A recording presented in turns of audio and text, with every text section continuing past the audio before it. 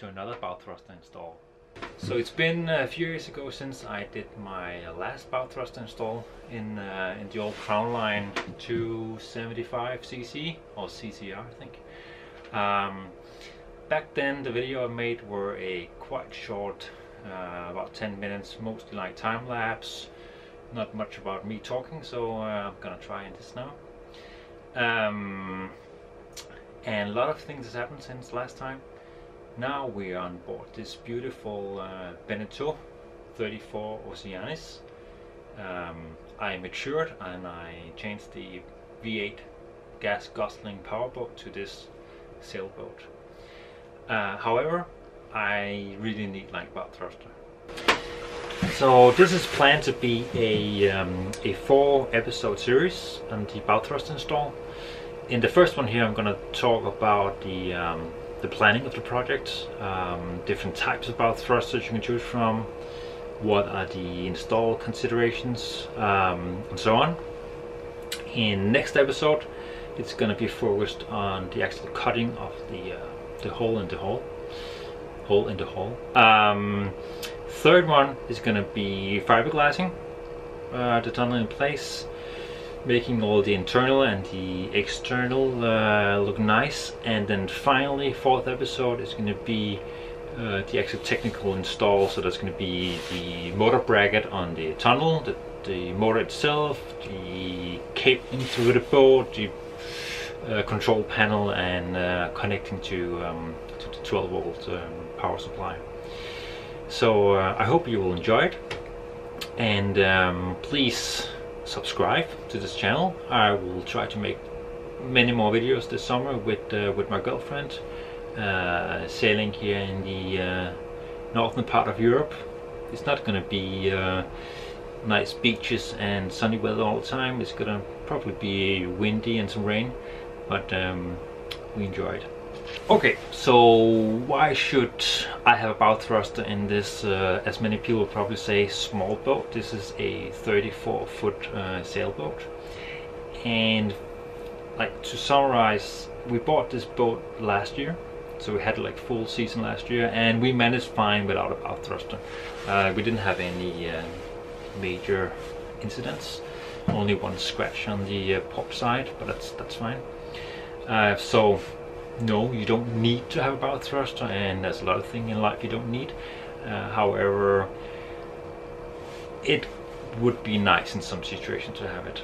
Um, I got a lot of comments on the previous video um, with the install in a 28 foot boat that uh, I should rather spend my money learning how to drive the boat and, and, and all these.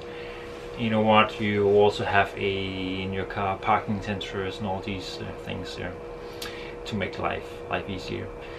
And I would still argue that you can easily be in a situation, um, it could be in your own arena or like somewhere you're going, where the wind and current and all that and can make life really difficult for you. And as all you sailors out there know that sailing or boating is about uh, enjoying, it's a hobby, it's about um, relaxing and there can be no more thing more intimidating than entering an arena you don't know or maybe in your own arena when the wind is like from the worst angle and everybody's watching you and you have to dock your boat. Um, that can be quite quite intimidating. So basically that's why I um, well it's not only why because I think it's a really fun project but it, it's a nice uh, nice feature to have on board your boat. So talking about the different types of bow thrusters you can get, well um, the far most common is the is a normal tunnel thruster. So basically you have like tunnel going across the um, sideways across the boat, and you have a motor there, and you have a little gearbox and a uh, and a propeller, and that's going to give you sideways thrust direction you want. And that's the probably the most economical solution you can get. Um, it's also probably the most um, reliable. Then in some sailboats which has a very flat bottomed hull, um, it's not really an option to install a, a tunnel thruster, uh, but you have to install these retractable ones. So basically you can retract the entire um, uh, small section of a tunnel in the water, and that's gonna um, that's gonna give you your your sideways uh, thrust. They are quite complex. Um, they are quite quite expensive. I think it's at least a four or five x compared to um, to a normal tunnel thruster. And um, but of course, if, if that's the only thing, if that's the only option uh, you have in your your uh, hull design, then that's the one you have to go with. Now we know um, we can fit this uh, tunnel thruster type uh, in this boat. It's a matter of finding the uh, the correct size of it. Um, they come in in sizes from um, from fitting small boats to quite quite big boats.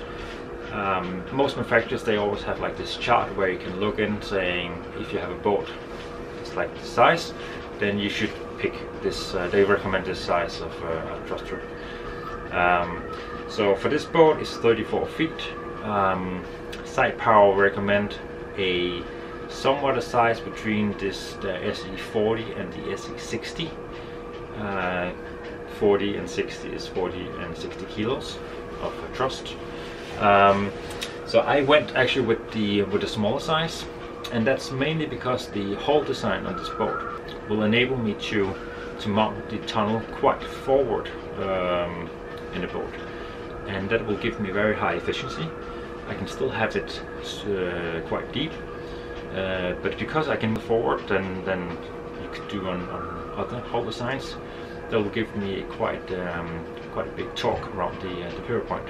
So I went with the um, this little baby here, the SE40, uh, super compact in size. Um, so now we're gonna move over to finding the um, the actual uh, placement of this and what are uh, what are the options to do this. On a sailboat, we have a really good option, and that is to use the paddle wheel. Uh, so most sailboats they have a little paddle wheel sticking down. It's uh, always like in front of the um, in front of the keel. And, since we can see the paddle wheel both from the inside of the boat and we can see it from the outside of the boat it's a really good reference point. Um, so in a minute I'm gonna do some uh, measurements. It's gonna go from paddle wheel internally. I'm gonna measure out the, uh, the bulkheads we have inside the boat. I'm gonna make a little drawing and then we're gonna go outside on the boat and do the same marking but just with some some masking tape. So we get a, a rough picture on how to uh, where to to install the um, the tunnel. So enjoy. So this is the reference point that we can see from the inside and outside right? So we're going to use this to figure out where we should put the bow thruster. We have this nice space down here for the thruster itself. Below here we have the water tank where I'm sitting. So of course we don't want to drill the hole here where the water tank is, we want to drill it somewhere here. Is 1 meter and 20 to this bulkhead where the water tank starts. It's 1 meter and 20 and then from this bulkhead this bulkhead is 83 centimeters and just for getting the reference of the far forward bulkhead here. That is 75 centimeters.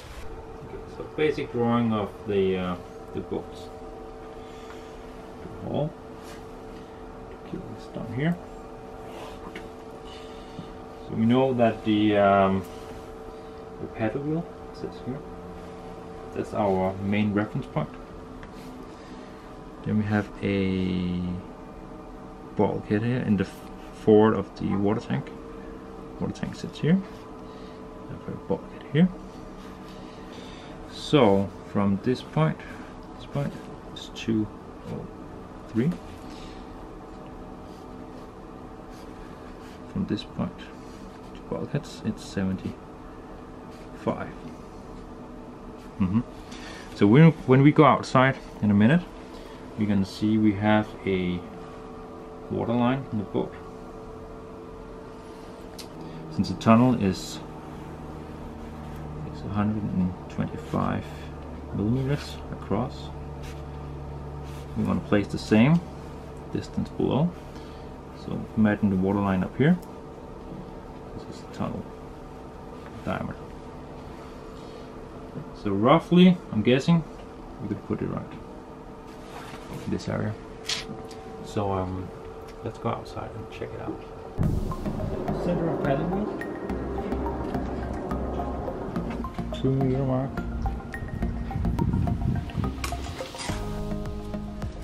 So I'm gonna measure the 75.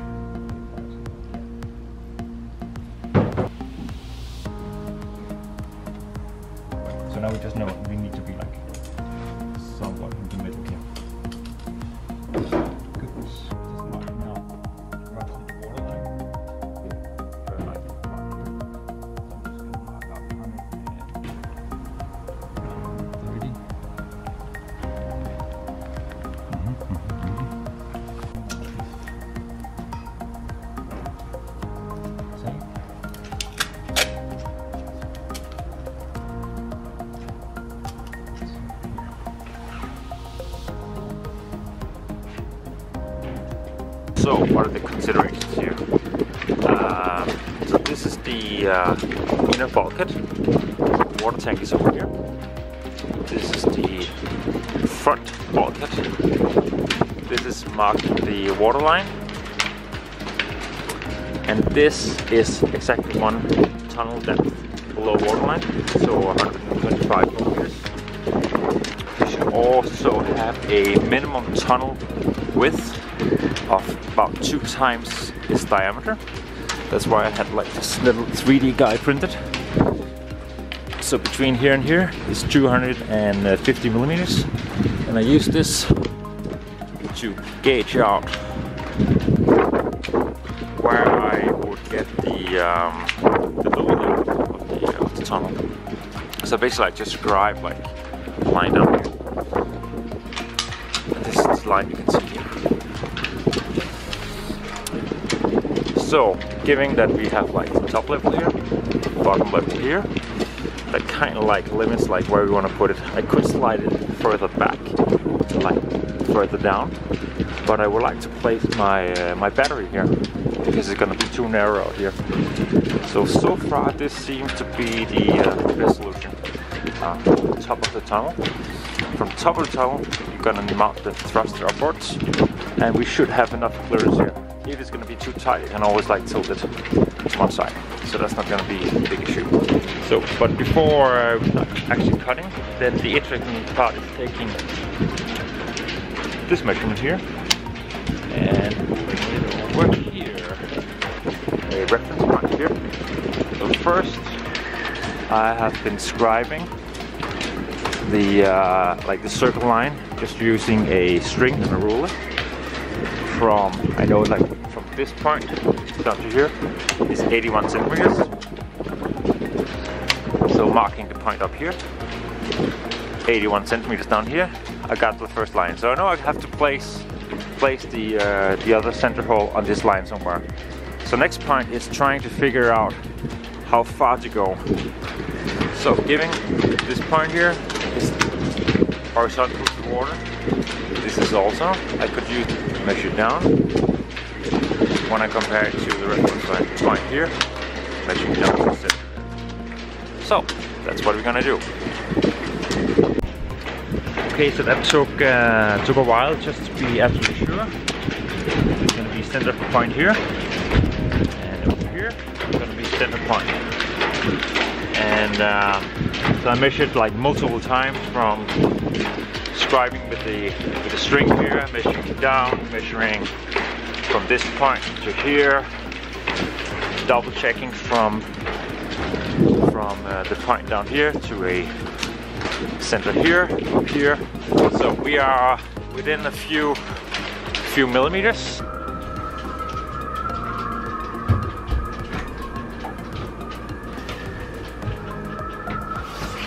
So um, that was a lot of measuring outside. Um, so as you saw, now we have the two uh, center points marked on each side of the hole.